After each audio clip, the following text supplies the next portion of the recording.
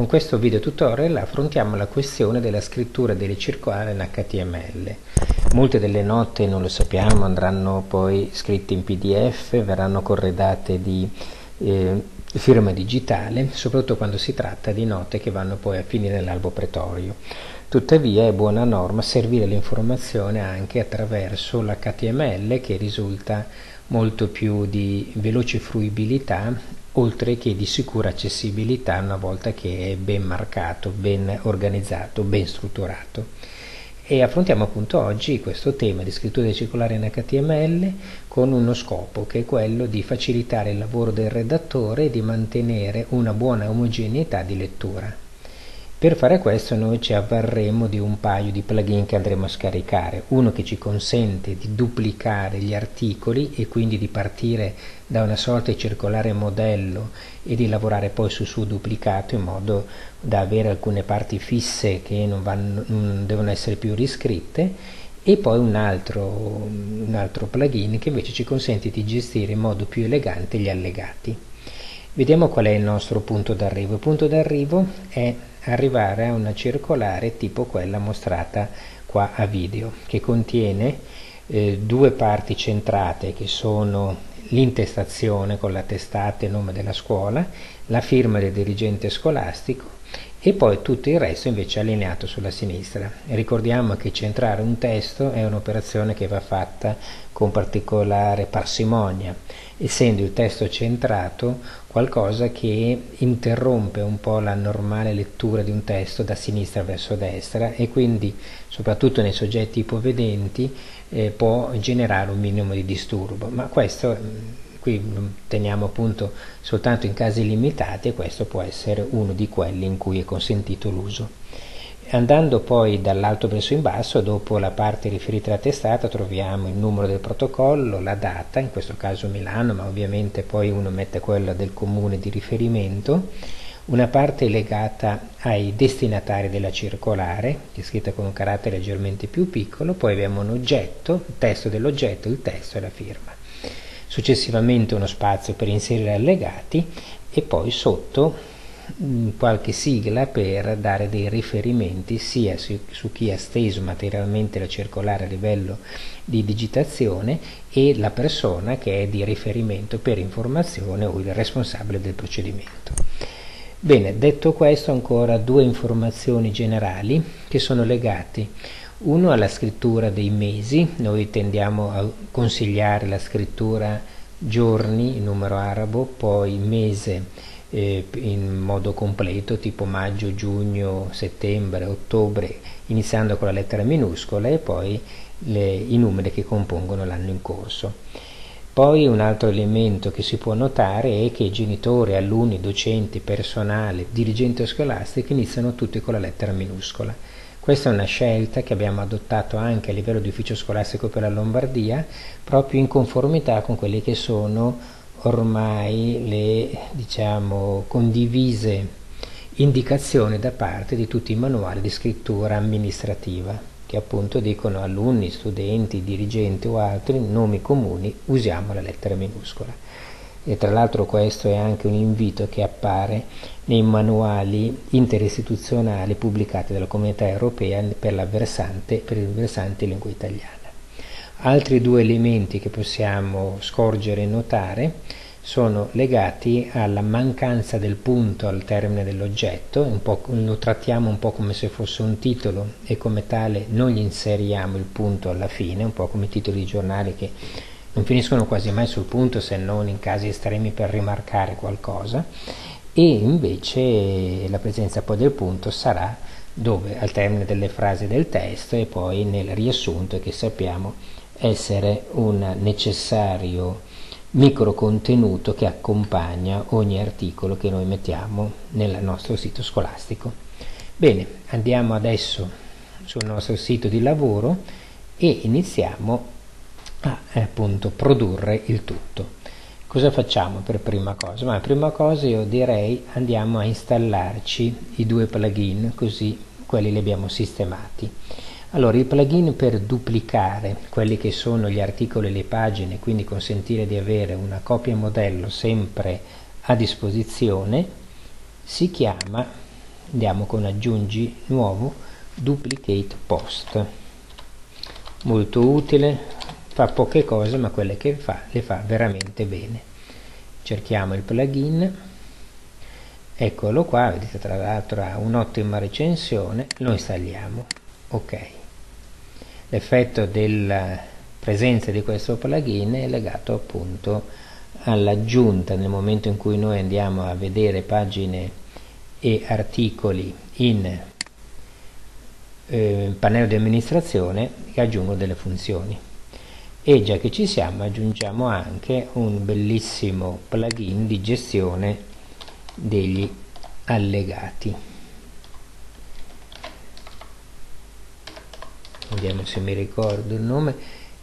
Molto interessante, è un plugin tra l'altro che è molto seguito dallo sviluppatore, ecco G-Attachment, questo Emanuel Ghiorion, eh, ci siamo riferiti anche più volte a lui per avere delle, dei consigli a volte delle piccole sistemazioni di codice, no? perché nei vari sviluppi di questo plugin c'è da mantenere sempre saldo il discorso della validazione del codice e questa persona ci ha risposto sempre e in modo convincente, ha sempre risolto ogni problema che ci è capitato nel corso degli anni. Lo installiamo e poi vedremo che l'effetto dell'installazione di questo plugin sarà l'aggiunta nel nostro barra di strumenti dell'editor di una sorta di graffetta che ci consentirà di gestire gli allegati in modo ancora più, più veloce e se vogliamo anche bello da vedere. Bene, fatto questo andiamo adesso sui nostri articoli. E in bozza troveremo già il modello di circolare che poi vedremo di far girare come allegato. Se qualcuno volesse utilizzarlo vedete circolare bozza ecco non l'abbiamo mostrato prima di aver installato il plugin duplicate post però vi posso dire che noi abbiamo questo clone questa nuova bozza che prima non erano presenti in particolare se io voglio mantenere la bozza attiva come punto di partenza, io non cliccherò su modifica, sarò modificherò lo stesso oggetto, ma su nuova bozza. Cioè la scuola che utilizza un modello lo metterà, lo salverà come bozza e utilizzerà sempre la sua copia, cioè copia in una nuova bozza, in modo che l'originale bozza rimanga sempre a disposizione. Eccolo qua, viene caricato, è già presente, contiene con la rapidissima diciamo, lettura del, del, codice HTML vedete delle classi che hanno associato un foglio di stile che consente la visualizzazione che abbiamo visto precedentemente nel nostro, nel nostro file di esempio vedete qui c'è un centrato quando lo vediamo Tuttavia, avendo riportato tutto questo anche in un file di stile accessorio che vi trovate nel vostro tema, possiamo anche migliorare la vista dalla parte dell'editor visuale. Quindi andiamo a fare una piccola variazione a impostazione Tiny Macedo Ensid e gli diciamo spuntiamo import editor style.css. Qual è la funzione di questo di questa spunta la vediamo subito nel momento in cui noi torniamo sui nostri articoli e sulla seconda bozza vedete che qua ne ho due no? la bozza della bozza quindi è rimasta la precedente non rifacciamo nuova bozza a questo punto ma modifica perché così torniamo sull'oggetto di prima vedete che ecco io vedo il, alcuni elementi grafici che se no sarebbero stati nascosti nell'unità visuale ma peraltro avrei visto comunque poi una volta pubblicato bene lavoriamo allora, questo nella nostra bozza, eh, nella bozza che voi preparerete, se lo riterrete ovviamente in modo personalizzato, ci sarà il nome della vostra scuola, l'indirizzo e l'indirizzo di posta elettronica certificata. Poi noi avremo di fronte un file fatto magari con il laboratorio dei testi tipo LibreOffice da cui noi preleveremo il testo della circolare. Quindi lanciamo LibreOffice Ecco qua il nostro testo, ci sono degli elementi che possono essere migliorati a livello di cura della documentazione, isoliamo un po' dalla trattazione di questo video tutorial, però posso così accennare che è buon uso non avere mai dei paragrafi vuoti perché nel momento in cui vengono letti degli screen reader creano una informazione nulla e quindi non favoriscono la migliore so dire, fruizione del contenuto da parte dei cittadini non vedenti. Questo però, ripeto, è un capitolo di buona scrittura che potrebbe essere aperto in un secondo momento, ma non è adesso lo scopo del nostro video tutorial.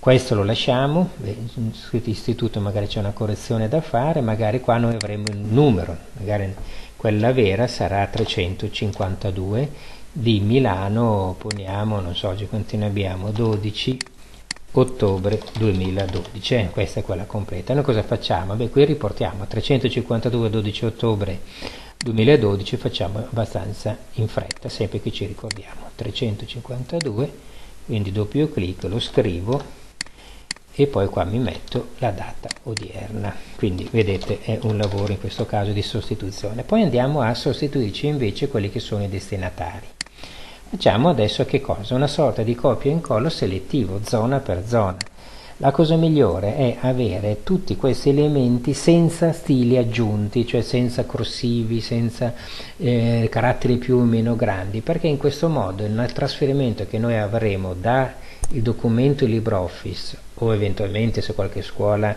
ancora non si è aggiornata all'indicazione della pubblica amministrazione che dice usate software libero, usasse per caso prodotti commerciali, in maniera del tutto analoga bisogna togliere, opportuno togliere anche da queste fonti ogni informazione aggiuntiva data dagli stili del redattore. In LibreOffice basta cliccare su predefinito e se uno ha messo dei stili fantasiosi vanno via tutti. E notate anche una cosa, ai genitori degli alunni secondari è una stessa frase e quindi o si mette sulla stessa riga o si manda a capo degli alunni secondari con shift invio, no?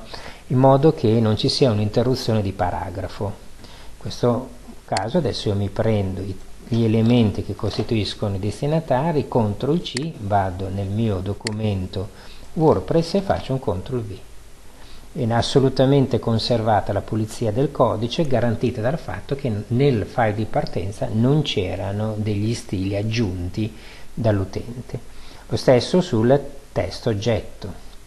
Torniamo qua, adesso qua non c'è il nome del, il, diciamo, l'oggetto della circolare, questa inventiamola noi, cosa potrebbe essere ricevimento genitori 2012 sì, magari scrivendolo in modo corretto forse è opportuno perfetto. Quindi mi prendo la scritta CTRL C vado qua su testo oggetto CTRL V mi è andato a capo ecco qua sistemato. Il tutto. Se andiamo poi in HTML vedete che non è stato portato assolutamente nessun elemento aggiuntivo. Poi testo circolare, anche questo no, dopo che mi sono accertato che è un testo predefinito, cioè senza stili aggiunti, in, negli altri laboratori testi commerciali si dirà che è uno stile normal, prendo quindi col CTRL C, vado qua, sovrascrivo testo circolare, CTRL V, già bella che è fatto, c'è quel punto che è rimasto indietro, lo tiro su.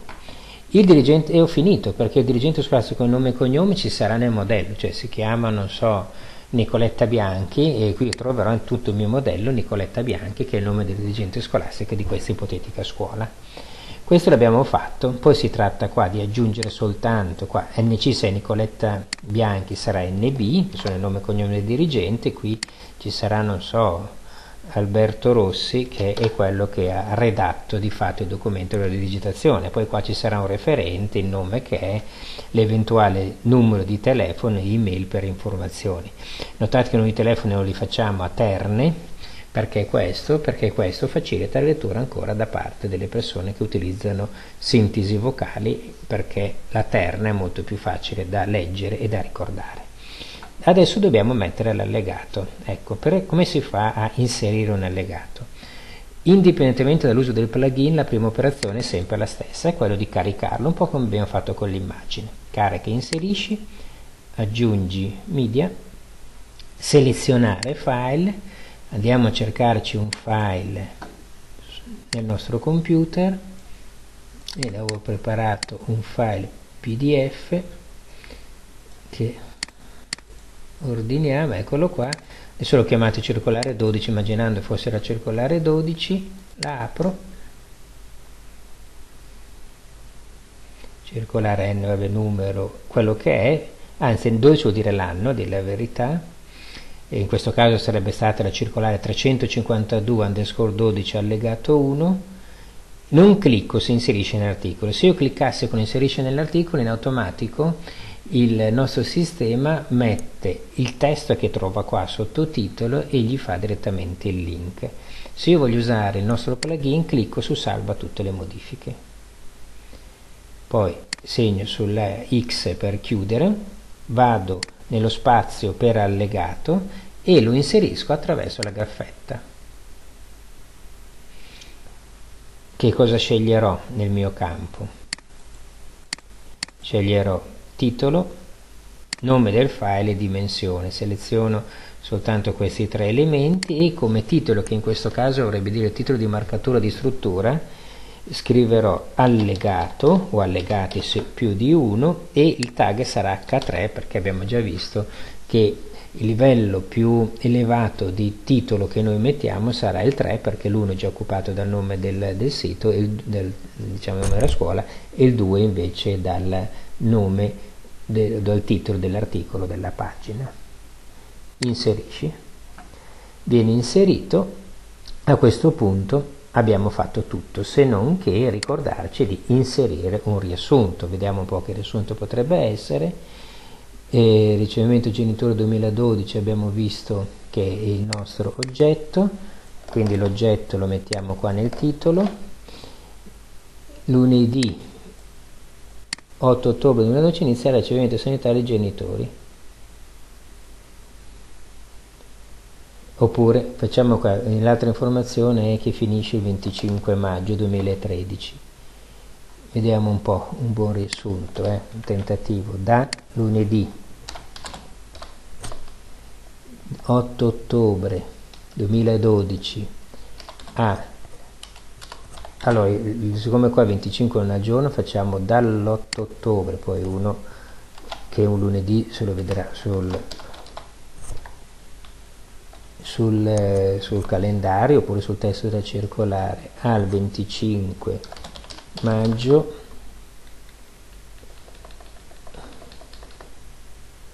Ricevimento settimanale di genitori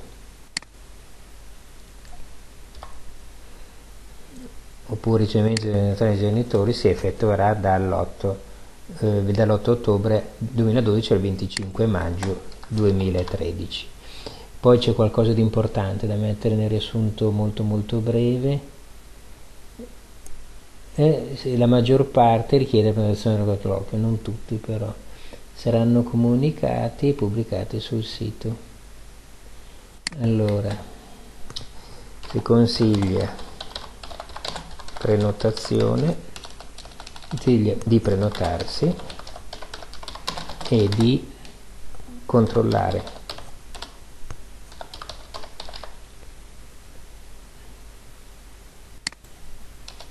Allora facciamo i genitori.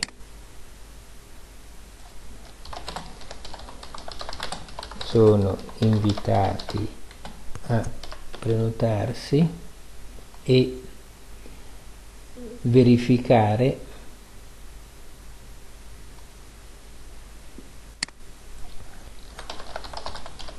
orari e disponibilità sul libretto. Come lo chiama qua? Libretto. Vediamo qua. Personale degli alunni, mettere dei propri figli, però mettiamo pure in modo più burocratico, eh, in questo caso degli alunni. Sul sito è ovvio, per cui possiamo anche non metterlo. Che qua c'è uno spazio sbagliato, poi eh, commenti facciamo finta di toglierli, scegliamo che cosa mettere qua. Questa è una circolare, è una circolare che è rivolta certamente ai docenti, ai genitori e agli studenti io direi anche al personale ATA, qua lo vediamo anche indicato per la predisposizione degli spazi, come tag direi ricevimento. Così raccogliamo qua tutte le circolari che parleranno di ricevimento. A questo punto credo che abbiamo fatto tutto, la pubblichiamo magari usando quell'accorgimento di metterci il numero, potrebbe essere prot 352 del 12 ok? Pubblichiamo e vediamo un po' come è andata a finire il tutto. Pubblicato andiamo a vedere il nostro sito. Se tutto funziona dovremmo trovarlo in home page. Eccolo qua ricevimento generatore 2012 c'è il suo titolino che è già rappresentativo del contenuto. Se noi clicchiamo qua ce la ritroviamo ce la ritroviamo in un diciamo una modalità grafica che è quella che abbiamo scelto, no? con il riassunto evidenziato su sfondo azzurro e poi una stessa e omogenea modalità, mod, eh, scusate, modalità comunicativa. Qui ci sono gli allegati, fossero uno eh, sotto l'altro, sarebbero elencati uno sotto l'altro. Diciamo l'ultima cosa, anzi U2, questa la troviamo ovviamente anche in docenti, genitori, personale ATA, studenti, ma la troviamo anche nella raccolta di tag ricevimento, vedete?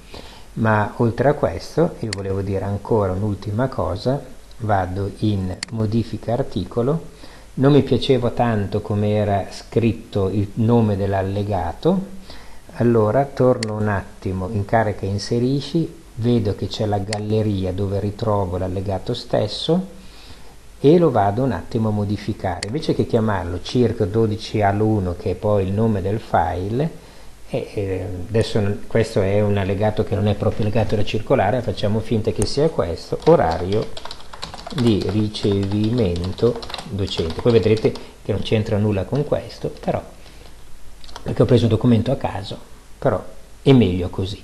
Salviamo le modifiche eh, potevamo farlo già da subito questo tipo di intervento e andiamo a vedere una volta che abbiamo aggiornato il nostro articolo che cosa è capitato. Vedete orario ricevimento docenti direi che è molto comunicativamente molto più efficace piuttosto che uno, uno poi clicca su qua se lo apre in realtà questo è la, una delle pagine della guida di PAS 2013